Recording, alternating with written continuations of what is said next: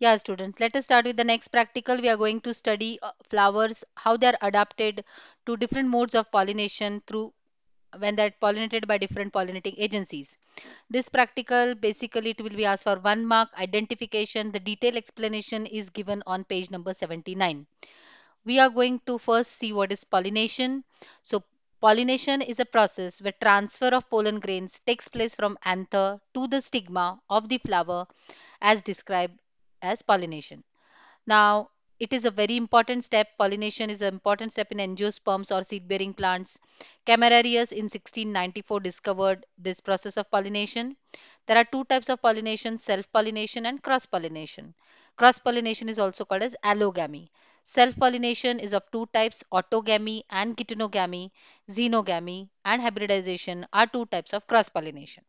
Autogamy is transfer of pollen grains from the anther to the stigma of the same flower. If the pollination is taking place from the anther to the stigma of the same flower, it is autogamy. If there is one plant, two flowers. If the transfer of the pollen grains takes place from anther to stigma of another flower, but same plant, it is called as geitonogamy. Xenogamy is transfer of pollen grains from the anther to the stigma of plant 1 to plant 2. They should be of the same species, though genetically not similar. They should xenogamy is transfer of uh, pollen grains from anther of one plant to the stigma of another plant and these plants should be of same species they should not they are not necessary to be of genetically similar but they should be of the same species then it is called as xenogamy. Hybridization takes place between two plants and these two plants may be of different species subspecies different variety. So xenogamy and hybridization are types of cross pollination there are different agencies of pollination, abiotic, non-living and biotic non-living uh, agencies of pollination. Abiotic agencies include wind pollination, anemophily, water pollination, hydrophily. Insect pollination uh, it comes under biotic agencies which is called as entomophily. Bird pollination is ornithophily. Pollination when it takes place by bats it is chiropterophily or chiropterophily. Pollination by ants, myrmecophily. Pollination by snakes, ophiophily. Pollination when takes place by snails, it is called as malacophily. We have studied all these in detail in our theory.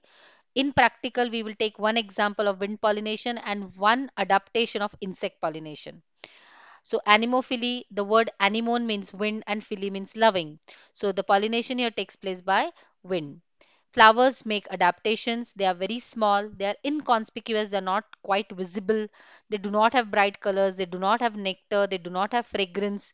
Usually flowers are unisexual and they may be monoecious plants also. Male flowers, that is staminate flowers, are more in number and they are usually situated at higher level. Stamens are having long filaments uh, anemophily example which we will take in lab is maize. A plant of maize will be kept and you have to identify and describe that. So pollen grains they are produced in large numbers to compensate with the loss. Anthers are exposed and versatile. So anthers are produced here in the male inflorescence which is called as tassel and they are exposed and versatile. Versatile they are anthers are attached to the filament by only a single point at the connective such type of anthers they will swing in the air and it will help in spreading of the pollen grains. Pollen grains are very lightweight so that they can be travel in the air they can be transported by air smooth walled and pale yellow very very important characters. Long style has hairy or feathery stigma so as to trap these pollen grains which are falling uh, with the help of the air this occurs in grasses, maize, jawar, sugarcane.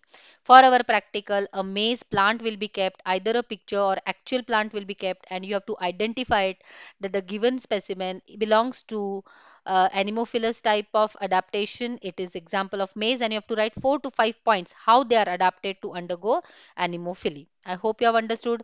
Next second example we will see entomophilous adaptation in salvia, how it shows lever mechanism.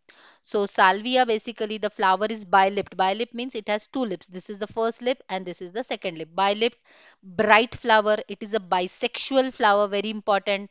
But it is protoandrous. Protoandrous androecium matures first and gynoecium matures later. Bivercate uh, bifurcated or divaricate anther. So this is the filament. The connective is uh, having two branches, upper forming the upper fertile lobe and the lower forming the lower sterile lobe, and it acts as a lever mechanism. Now, when an insect uh, enters into this flower, accidentally it presses this lower sterile lobe, and when it presses the lower sterile lobe, the upper fertile lobe, it dust pollen grains on the body of the insect, as you can see in this picture. And as the gynoecium is still not yet matured, self-pollination is avoided. Now this flower, this insect with the dusted pollen grains on its back will visit some other flower.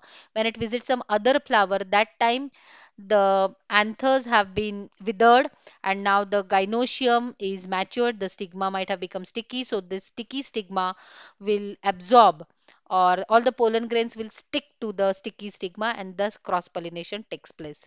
So wonderful lever mechanism can be seen in salvia where divaricate or bifurcated anther is present. So I hope students you have understood this. Either a picture of salvia will be kept or so I hope students you have understood this. So either a picture of salvia will be kept or uh, a picture of maize or a specimen of maize will be kept and then you have to identify what type of modification it is and you have to write four to five points about it. It will be asked for one mark in your exam. Thank you.